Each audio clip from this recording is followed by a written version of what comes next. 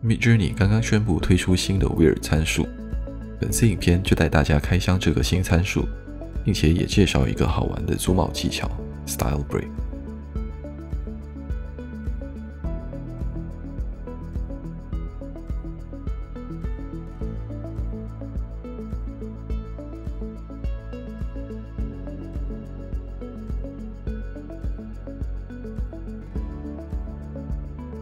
在影片开始以前，我想做个简单的声明：Introversify 频道是我一个人在 YouTube 上经营的频道，我并没有授权任何人以任何形式在其他平台上以他的名义来发布这些影片。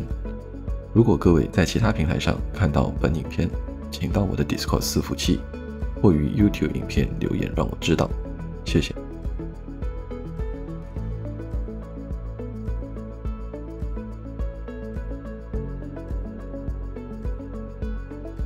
首先，先介绍新的参数 Weird。直接翻译的话，可以解释为怪奇参数，应该是通过调整参数来让图片生成的更怪异。根据官方发布的公告，我们可以在想要让图片更怪异及前卫时使用这个参数。这样的话，我们是不是可以将 Weird 参数当作是奇葩参数呢？默认的怪奇参数是零，官方建议数值为两百五十到五百之间。一千为建立最大值，虽然说数值可以一路加到三千，不过经过测试，我发现一千和三千在奇怪程度上似乎没什么差异性。我首先注意到，在未输入任何风格关键词的情况下，使用怪奇参数会从默认的写实影像风格变成各种卡通风格。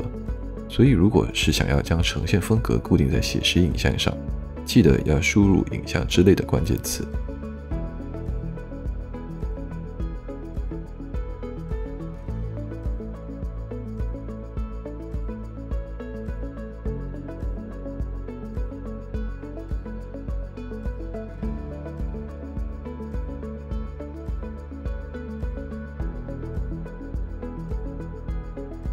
在 Weird 参数推出时，我第一个念头是。这跟 Chaos 混沌参数有什么不同？在经过五十多张生图的比较之后，我发现混沌参数改变的是构图和用色等。你所输入的主体基本上是不会有太大的变动的，而对于怪奇参数，是会在本质上让你输入的主体产生变化。举个例子来说，如果我们输入的关键字是二十岁的日本少女，MJ 在正常情况下。永远都会生成一个在身材和颜值上都完美的无懈可击的女生来。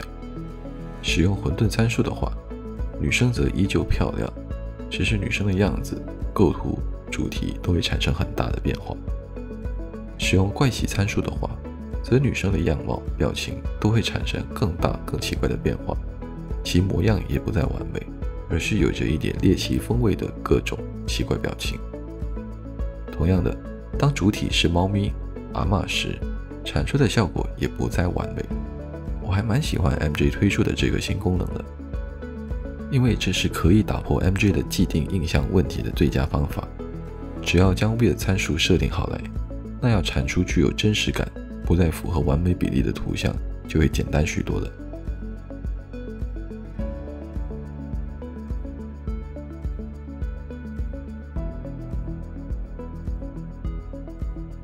另外，今天我也想分享刚刚发现的新玩法。我在官方 DC 伺服器上也找到了一些同样发现这个玩法的朋友。外国朋友称这种玩法为 Style Break，意思大概就是一张图像两种风格。这在之前的 Midjourney 上我曾经尝试过，当时我想达到一种窗外是水墨画，窗内是现代化拟真机舱的感觉，可是不论怎么试都做不出。可是有了 Zoom Out 之后，要达到这个效果也就变得非常简单了。首先，我们先生成想要的风格，任何艺术风格都可以。我这里生成了水墨画、梵高和麦块风格的图像，然后在 Custom Zoom 中将永长文本整个改掉，换成拟真的机舱内部，就完成了这种有点虚实结合感觉的图像了。这种 Style Break 玩法。也可以用在各种天马行空的场景中，如先生成海底世界，再 zoom out 成图书馆，地下研究室的，能够把相对矛盾、突兀的两种场景完美的融合，我觉得这正是 MJ 厉害的地方。好了，本次的影片就到这里。喜欢我的影片，记得按赞并追踪本频道。我们下支影片再见，谢谢。